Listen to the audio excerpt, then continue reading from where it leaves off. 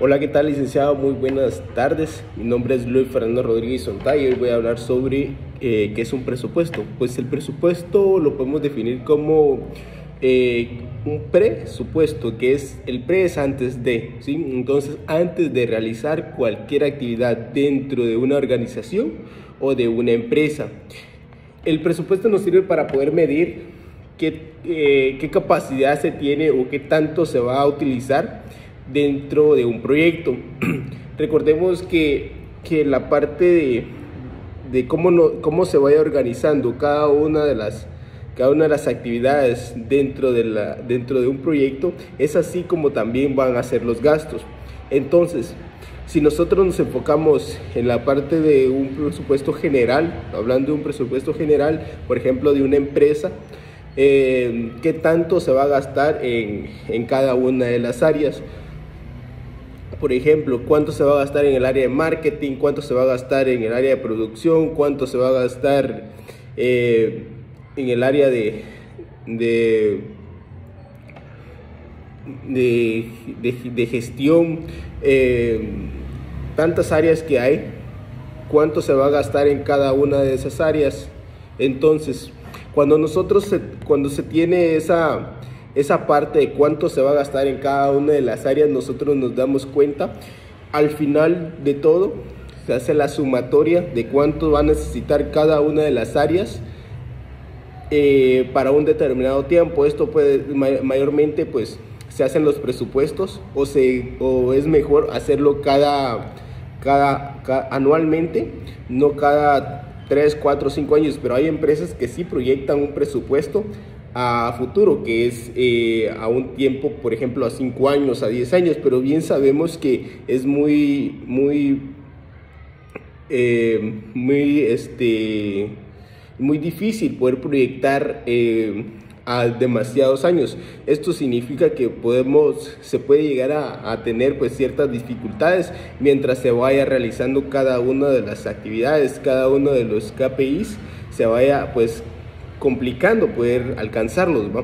¿Por qué? Porque si proyectamos a demasiado tiempo nuestro, nuestro presupuesto, pues no puede llegar a afectar. Entonces, recomendable que el presupuesto se proyecte anualmente o eh, cada dos años. Entonces, cuando se está trabajando un presupuesto, se recomienda de esta manera trabajarlo de un año a dos años.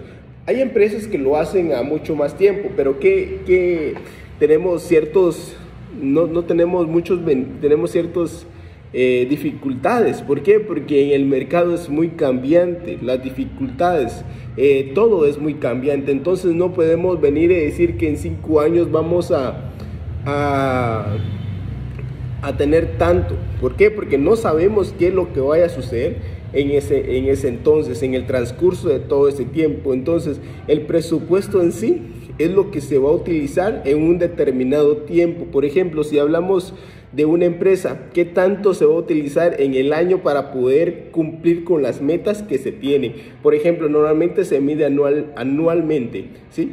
¿Por qué? Porque si la empresa se tiene eh, proyectado a facturar que un millón de quetzales en todo el año, supongamos que es una una, una empresa pequeña y tiene proyectado un millón o cinco millones en el año, entonces eso nos lleva también a la, a la parte que se tienen que, se tiene que eh, satisfacer ciertas áreas para poder cumplir con este, con este objetivo. ¿no?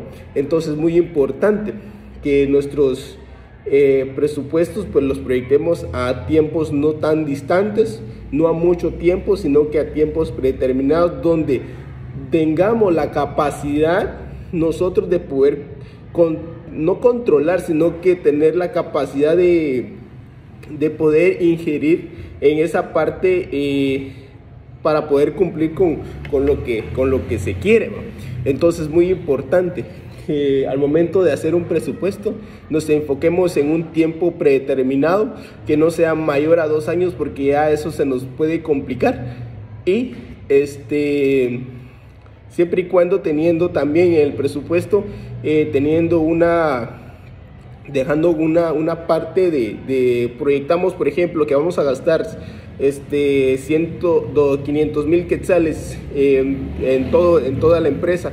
Entonces, si nosotros proyectamos que vamos a gastar 500 mil quetzales en toda la empresa durante un año, para todo, la, todo lo que se realiza dentro de la empresa, entonces podemos poner un 10% adicional por si pasa algo. Entonces, mi recomendación es que se proyecten eh, un, un, un, presupuesto se proyecte a un año o dos años máximo y que de eso que se proyecte se tenga un 10% adicional para cualquier situación que pueda suceder.